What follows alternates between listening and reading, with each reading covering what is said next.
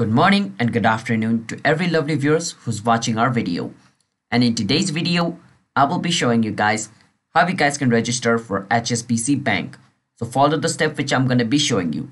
But before that, if you guys are new to our channel Financeable, then don't forget to hit the like and subscribe to our YouTube channel with notification on. Let's move forward. First step, search for HSBC Bank and click on the first link over here. This will take you to its official website. Now once you're over here, click on versus register over here.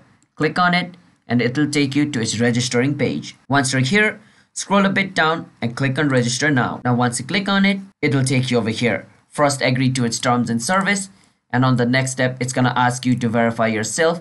Choose the type of account you have on HSBC Bank and then enter the you know information according to the info you chose over here so i chose credit card so i'm entering my credit cards information over here and then i'm going to enter my you know security number over here and click on continue.